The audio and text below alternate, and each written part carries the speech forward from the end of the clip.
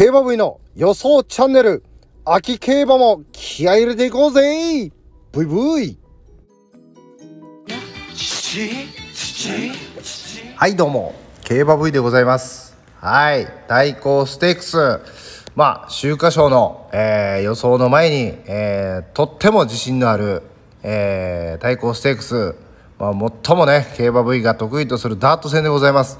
しかも阪神の 1800m 大好きなダート戦。はい。ここは自信があるのではい。ぜひ先に言っとこうと思いましてもうここはもう3頭でいいんじゃないかなと俺思っております。はい。でまああのまだ出走確定ではないんですけども、まあ、出てきたらこの3頭を買おうかなと思っているのがまず僕が思ったのがエイコーンでございます。エイコーン。なんといってもフリオーソ3区はい。まあ、中京とかはねこう不良馬場は合わなかったっていうのもあるんでしょうけどもでしかも土日雨っぽいんですけども、まあ、それにしても、まあ、中山そして阪神の実績、まあ、坂のねあるコースとかも得意なんでしょうけども、まあ、中山阪神も得意ということででそこまで着順も悪くないと。でなおかつ前八に関しては成績もまあまずまずいいかなと思っておりますんでまずはエイコ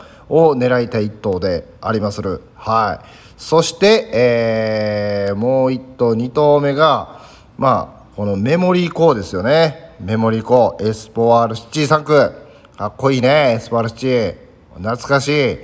メモリーコーなんですけどもまあこの馬に関してもまあそこそこ走ってくれますし着順もねドカ負けがないのでやっぱ1008に関しても実績もあるということで、まあ、阪神の実績もあるんでねここは人気しようが姉妹が買わないといけないと思っております。ここも頭あると思っております。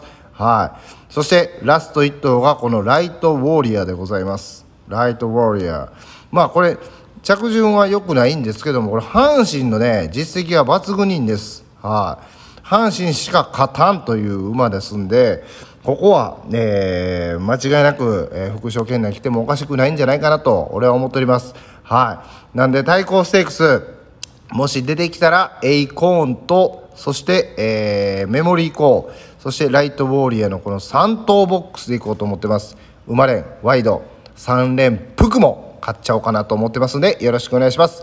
まあ簡単ではございますけどこんな感じの予想でちょっと自信はありますんでねちょっと厚めにえー、買いに行こうと思っております。はい。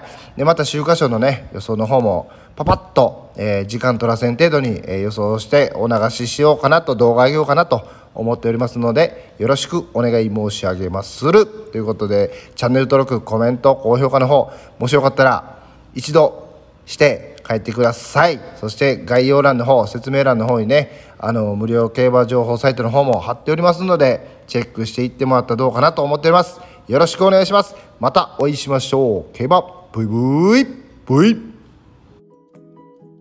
もしよかったらね説明欄の方に、えー、無料競馬サイトの方貼っておりますので一度、えー、無料登録だけでもどうかなと思っております。